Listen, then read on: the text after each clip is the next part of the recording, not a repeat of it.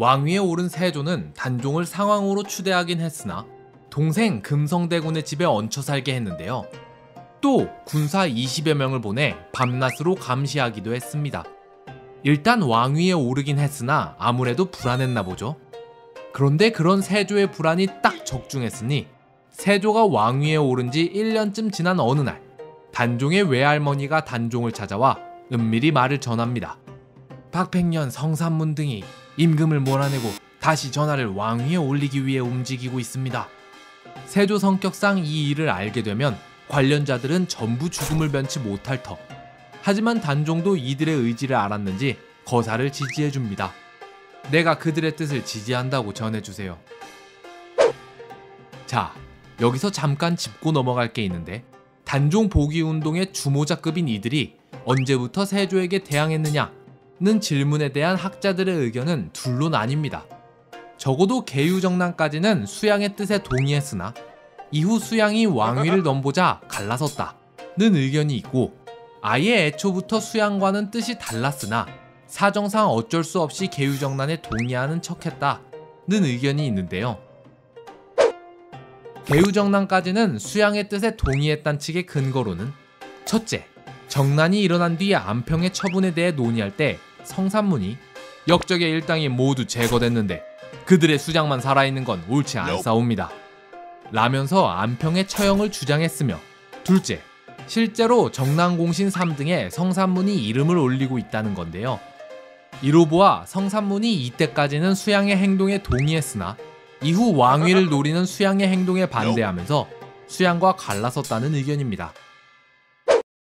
자, 그럼 반대로 이들이 애초에 수양과 대적했으나 정난 땐 어쩔 수 없이 수양 편을 든 거라는 의견의 근거를 살펴볼까요? 이쪽 의견으로는 안평을 제거해야 한다고 말했던 성산문이 뒤이어 말하길 정난에 참여하지 않은 정인지 등이 무슨 공이 있다고 1등 공신에 책봉된단 말입니까? 또한 신을 3등 공신에 책봉한 것도 말이 되지 않사옵니다.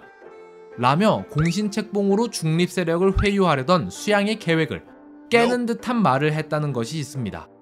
앞에선 수양의 뜻에 동의하면서 안평을 제거하자고 해놓고서 어째서 뒤이어 수양의 뜻과 다른 의견을 폈냐 하면 당시 성산문은 관리의 비행을 고발하는 대간직을 맡고 있었는데 대간이 정난이라는 큰 사건이 일어났는데도 아무 말 않고 있으면 정난에 반대한다는 뜻이 되므로 김종서 편으로 분류돼 죽임을 당할 수도 있으니 일단 안평을 제거하자는 데까지는 동의하고 그 후 천천히 수양의 대척점에 서게 됐다는 건데요. 또한 이쪽 의견의 추가적인 근거로는 박팽년은 단종의 국혼이 있은 뒤 수양이 서둘러 문종의 3년상을 끝내려 하자 끝까지 이에 반대했다는 겁니다. 아무리 경사일지라도 이 일로 선왕의 3년상을 끝낸다니요. 절대 아니되옵니다. 여러분들의 생각엔 어느 쪽 의견이 더 그럴싸해 보이나요? 어쨌든 이들은 세조가 왕위에 오르자 이에 반발하여 단종 보기 운동을 전개합니다.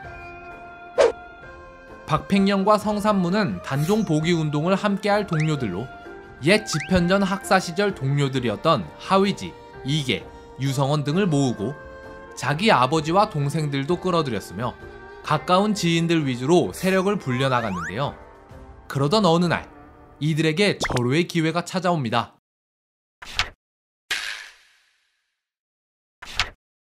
명나라 사신을 맞아 세조가 잔치를 베풀기로 했는데 이때 박팽년 성산문과 뜻을 같이 하던 성승과 유흥부가 벼룬검으로 배정된 겁니다. 벼룬검이란 무장을 한 채 임금의 곁을 지키며 호위하는 자를 말하는데요.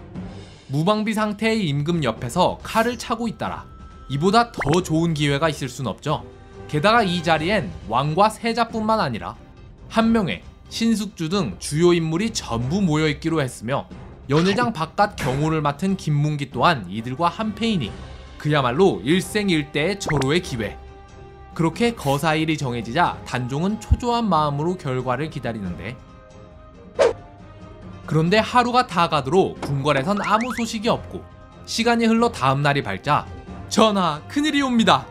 성산문, 박팽년, 하위지 등이 모두 붙잡혀 국문을 당하고 있다 하옵니다. 뭐라? 대체 무슨 일이냐? 일의 전말은 이렇습니다. 거사일이 되어 성승과 유흥부가 무장을 한 채 연회장에 나타났는데 돌연 오늘은 벼룬검을 두지 않기로 했습니다. 그게 무슨 소리요? 벼룬검을 두지 않는다니. 어명에 따라 그리 됐습니다. 어서 돌아가시지요. 무언가 낌새를 챘는지 갑자기 한명회가 세조에게 청해 벼룬검을 빼기로 했다는 겁니다. 한명회가 어째서 벼룬검을 빼자고 했는지 그 이유가 기록돼 있진 않으나 아마도 이전부터 성산문은 세조와 반대되는 의견을 하나 둘 꺼내왔는데 그런 성산문이 박팽령과 함께 세력을 불리고 다니니 한명회는 콕 집어서 이들이 이날 거사를 벌이려 한다는 것까지는 몰랐어도 무언가 이상한 낌새를 채고 있던 거 아닐까요? 그런데 성산문의 아버지 성승과 그의 친구 유흥부가 무방비 상태의 세조 앞에서 칼을 차고 있는 건 여간 불안하지 않을 수 없었겠죠.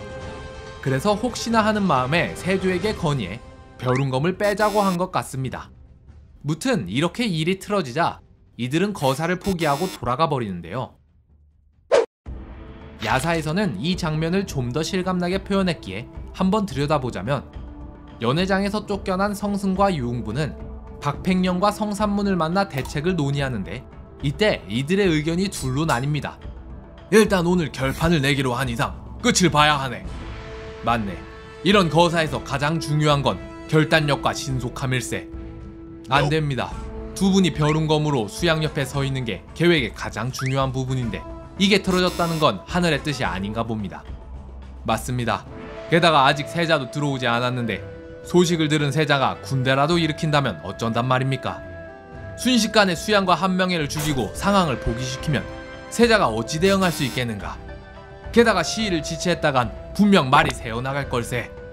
하지만 팀의 리더 격인 박팽령과 성산문이 반대했기에 이들은 결국 거사를 포기하고 돌아가는데요. 그렇게 한 번 계획이 엎어지자 바로 배신자가 나오고 맙니다. 김질이란 자가 불안감을 못 이기고 자기 장인인 정찬손을 찾아가 일의 전말을 전부 털어놓자 깜짝 놀란 정찬손은 그 길로 김질을 데리고 세조를 찾아가 박팽령과 성산문의 영모 계획을 모두 전했는데요. 그러자 관련자들을 전부 모아놓고 국문을 하는 세조. 고문장에 끌려온 박팽령과 성산문은 김질의 배신으로 이미 사건의 전말이 전부 드러난 터라 순순히 영모를 꾀했음을 자백합니다. 실록에는 이 국문 과정이 주모자들의 진술 위주로 설명이 되어 있기에 더 이상 전해드릴 이야기가 없는데 야사의 기록을 살펴보면 우리가 아는 유명한 장면들과 함께 주모자들의 절개를 다시 한번 확인할 수 있는 장면들이 실려 있으니 여기서부턴 야사의 기록을 위주로 전개해 볼까요? 박팽년이 내 이놈! 네가 여태 나에게 장계를 올릴 때면 항상 너 자신을 신이라 칭했기에 내 너를 그토록 믿었건만 이런 식으로 내 등에 칼을 꽂으려 해. 나는 그런 적 없소이다. 내가 나리께 준 장계를 다시 읽어보시지요. 그러자 세조가 박팽년이 올린 장계를 가져와 다시 읽어보니 신하 신자가 들어갈 자리엔 전부 클 거자가 적혀 있었습니다.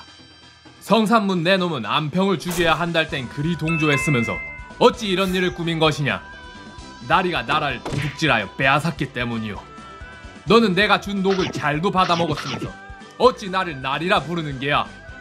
나리가 준 녹은 손도 대지 않았으니 우리 집 창고에 가서 확인해 보시오.